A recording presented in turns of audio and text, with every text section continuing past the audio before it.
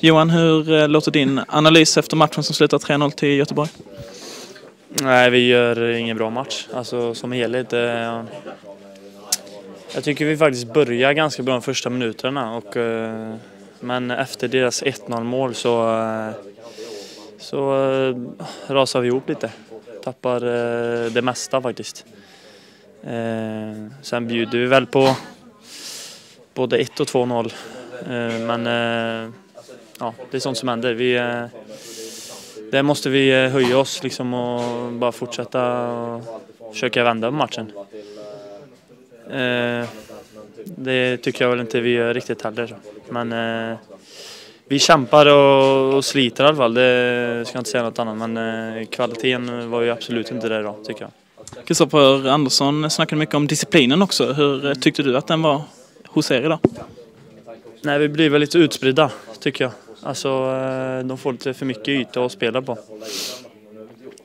Uh, ja, det är svårt att svara på. Alltså, det, vi får lite för kort anfall också, tycker jag. Vi spelar nästan lite för rakt och då, eh, om vi inte har kvalitet på det så kommer bollen tillbaka och så får vi liksom, och då har vi många, många i vårt lag högt upp liksom. Och, ja, vi får eh, analysera och bli bättre på det.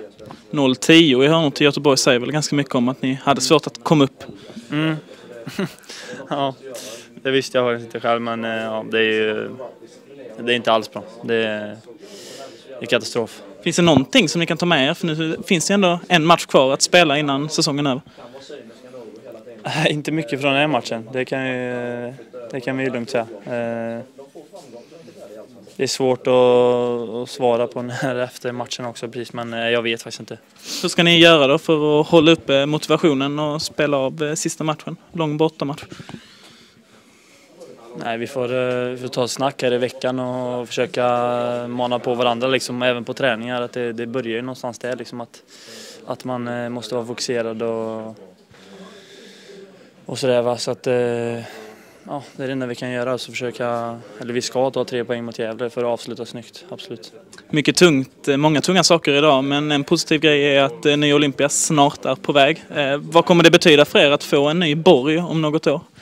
Nej, det är jättehäftigt. Alltså, vi, man har ju sett lite bilder och sådär på den och den ser ju, ja det är världsklass liksom. Det är ju, allt är, det är fräscht och omklädningsrum och ja, hela biten liksom.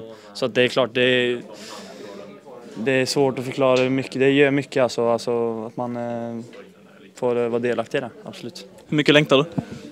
Jag längtar jättemycket, det ska bli jättekul att springa ut på, även fast det är samma arena då, men att den är nybyggd, det ska bli askul.